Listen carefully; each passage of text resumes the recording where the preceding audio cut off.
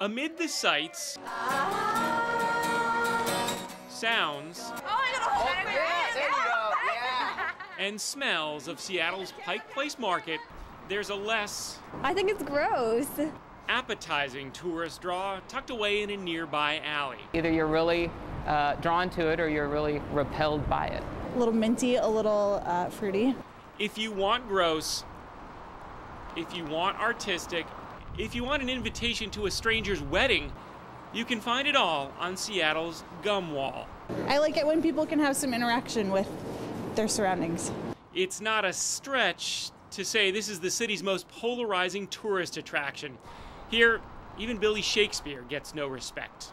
No surprise that this was named one of the germiest tourist attractions in the entire world. No surprise because you don't know where this stuff has been. But on the other hand, you gotta leave your mark. Yeah. Back in the 70s, people lining up for movies at the Market Theater were asked to get rid of their gum so they wouldn't leave it on their seats. Solution? Stick their wad to the wall. Countless pieces later, it's grown outward and upward to dizzying heights. More than likely, I see a crowd of people uh, on each other's shoulders trying to put their gum at the highest point they can, either hucking it or reaching high. I've heard of people who've licked it, which I think is really, really gross.